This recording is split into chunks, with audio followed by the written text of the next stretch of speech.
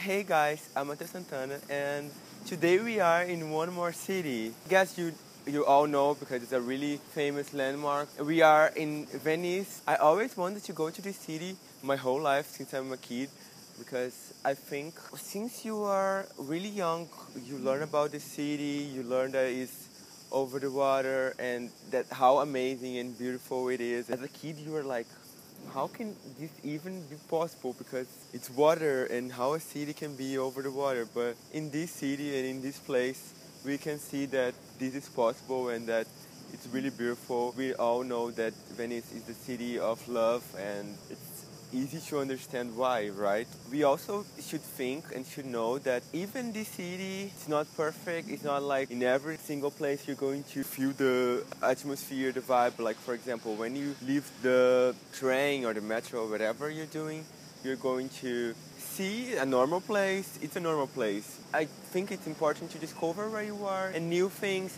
don't just go look maps and see exactly what you want to see and what you should do in this city because the best thing here is to discover. And you're going to discover amazing landscape amazing streets and that's what you should do. I personally should search a little bit more like what i want to do where uh, what i want to see but this time i did not. So you're all going to discover with me everything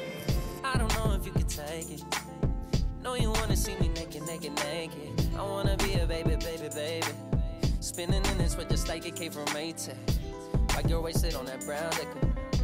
When I get like this, I can't be around you. I'm too lit to dim down the notch. Can name some things that I'm gonna do. Wow, wow, wow. You give me wow, wow, wow thoughts. Wow, wow, wow. When I'm with you, wanna get is wild. Okay, guys, truth to be told, you were all right. The water really stinks, but that's not a problem. It still looks really nice. It's just a bad smell. You see the water, it looks green and beautiful, but yeah, the smell is a little bit bad. But how beautiful it looks and how nice we just were walking, and I don't know the name of this street, but we just found this. We just found this place, and I think you can find many good and nice things by doing this.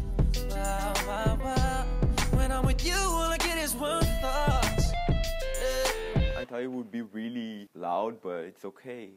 I think it's because it's morning, so that's why, but probably normally it's a little bit more busy. Never know. I hope the phone stays alive and don't fall in the water because there's the water and also the bad smell and all the things that kills everyone. I think if I jump here, I come back with 3,000 sickness, maybe more. I, I couldn't find rats still. Never know when I'm going to find, but we'll see. But actually, I really would like to live in this place. It's really calm. It's really nice.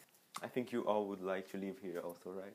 And it's just me, or it's really nice the way they, they put their clothes in front of the window. I really like this. Reminds me a little bit of Brazil, but in a different atmosphere. It's really nice, right? You dry your clothes, and that's also the design of the, your house because, yeah, I think it kind of designed something, designed the city, and many people do this here, I think. It's also really, really interesting how the streets are so narrow. You always feel like in a maze. Like it's hard to walk here like this. Two people can't be in the same place for sure. Everywhere you go, it doesn't matter where you go, you're always going to see this wh- pointing where you have to go. And this is the best thing ever because if you're just walking here, you know where to go, you know how to go, and this is perfect. But I wanted to know what you guys think about mass tourism. I think it's a really important topic in 21st century because as you can see we were at the Rialto Bridge and it was just so full of people. I think as a real citizen, like Venice citizen, would be a really big big problem because it's not a good thing, right? I want space. In the beginning of the video, I said it was really complex, but now I already changed my mind. Just look all these people. If you think you were going to be in Venice alone and you're going to take all the pictures you want at the stairs and everything, no, it won't happen because actually it's really full. We just had a really bad experience. We went to this restaurant where the pizza was actually cheap and the pizza was like around 7 euros but for our surprise we asked for a bottle of water and cola a drink of cola is around 5 euros and water is 5 euros also so yeah we got kind of stolen and it was really expensive but okay the pizza was good and that's fine Yeah, baby. Ooh. I heard that pussy for the taking. Heard it got these other brothers going crazy. Yeah, treat you like a lady, lady. Yeah, I can say I'm impressed.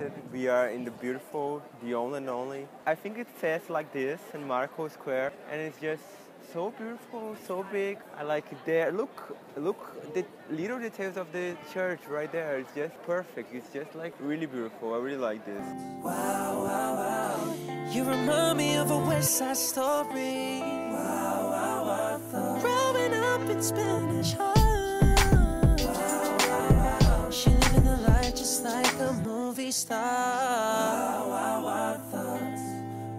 I think it's the time to end up the video. We have this amazing and beautiful view of the city. I personally think it's the best view, the best landscape of the whole Venice. It's a little bit different from the cliches of the canals and things like this, but I really love. And you can have all of this paying only 5 euros and personally I think it's worth it. This is the end of the video and bye!